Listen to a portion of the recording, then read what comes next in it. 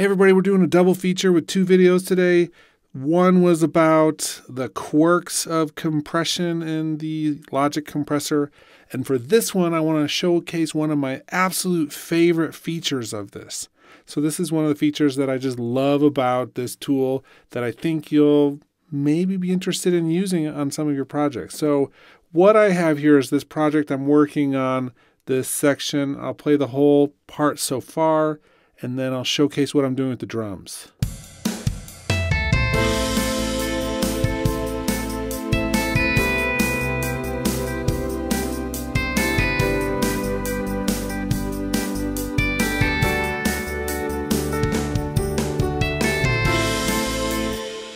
Okay, so this drum part is just using the drummer track inside Logic.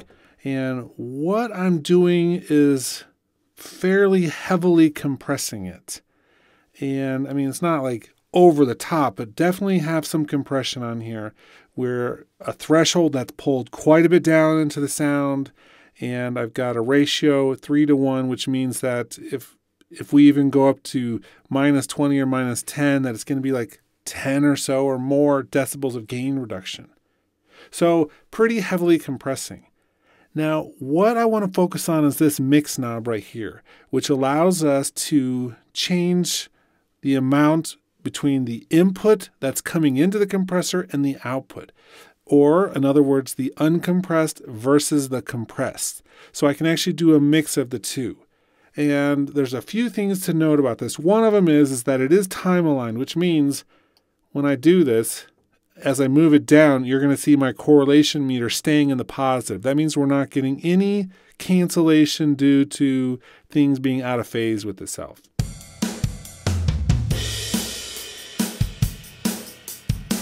So you can see no matter what I was doing there, it was staying in the positive. That's great. That means they've thought through a lot of the details of this.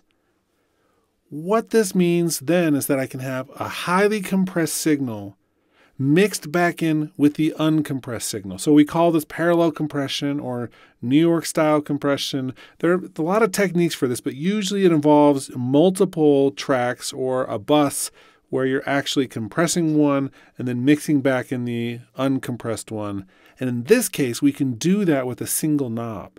But there are a couple small things to think about when we're doing this. First of all, there can be this huge level difference. So the level difference between what's coming in and what's going out just due to makeup gain or whatever else is going to change that. So the way I change or work with this is that I set the input level so that it really closely or is in the same ballpark as the output.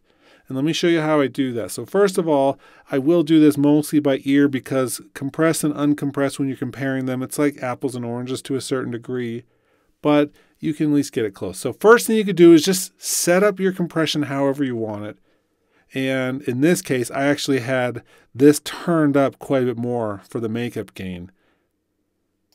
Let me undo that change just now. Okay, so then I actually went through and beefed up the input gain knob right here by six decibels to about where that compression level had ended up and then I pulled down the this makeup gain area to match. And then I just did a bunch of testing, listening back and forth with my knob here.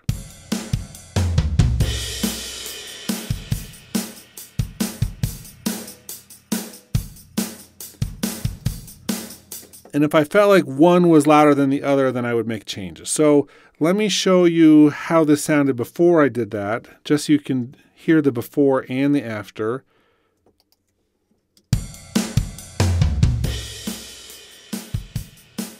Hear how it's so much softer on the input? So again, the change that I made took this down to minus 2 and took the input gain up by 6.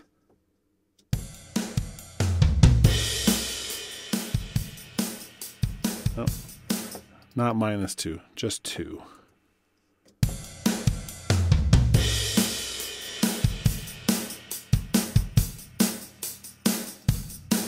And you can hear one is far more compressed on the output and the input is just louder.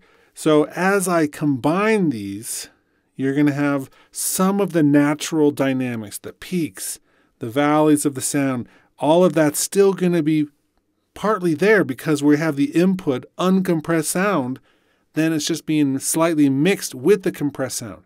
So the nuances of the tails of the drums as it's being compressed, all of that really fills in some of the gaps of the more natural sound. So what we end up with is a more natural overall sounding drum kit that still has the benefits of some of the compression.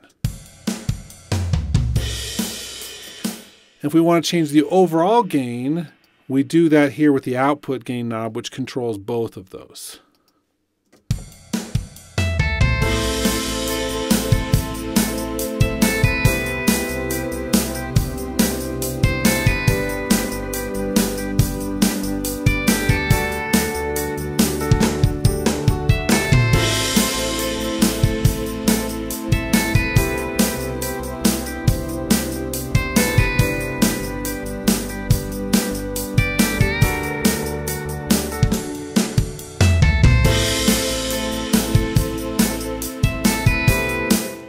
Okay, just a really quick tip about that. That's all I wanted to talk about was just the mix knob and how you can use it and maybe some of the thought process behind using it. And that's it. So I hope you're having a great week. Hope you enjoyed both the videos that came out today. If you made it through both of them, definitely consider becoming a patron.